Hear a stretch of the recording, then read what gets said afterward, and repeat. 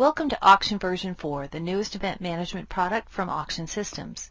We have made version 4 very user-friendly, and one of the ways we accomplished this was to embed a help menu right in the software.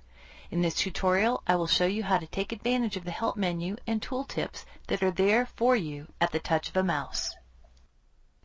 This is the screen you see when you first open a project. The window to the right in this screen shows the help system. And since we're in the Home view, we see information about the home screen. What you see in the Help System menu is an image of the entire screen, but this is just a screenshot. These task buttons are not clickable. If you wish to go to an actual task, you must click the button in the real taskbar along the top.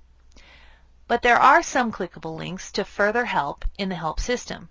Just use the scroll bar on the right and once you're past the screenshot, you will see some clickable links. If you need help for one of these topics, just click on the link and the help panel will change to show you more information about that specific topic. When you first click on a task, the entire bottom of the screen will be the help menu for that task. Again, buttons in the help system are just screenshots. I click the data entry task and to the right of the data entry button, what now appears is the task buttons for the specific areas of data entry. Each of those areas are explained in the help system below, and I can find that help by scrolling down. To go to a specific area you wish to work in, click the task button along the top.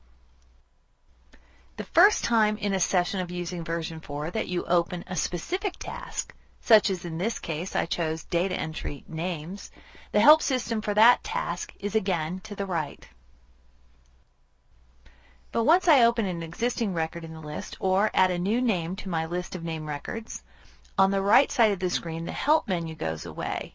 I get data entry. So now how do I get help? In the upper right hand corner is a question mark. If I click on the question mark, a screen will pop up that shows the help menu for the area I'm currently working in.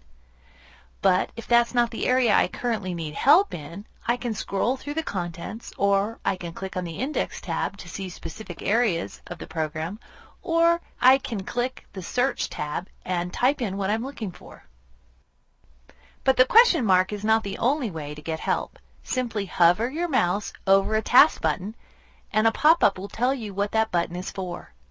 Or hover the mouse over a field and the pop-up will tell you what information should be entered in that field. We look forward to showing you more of the features of version 4. Please see our tutorials for specific topics. Thank you for joining us.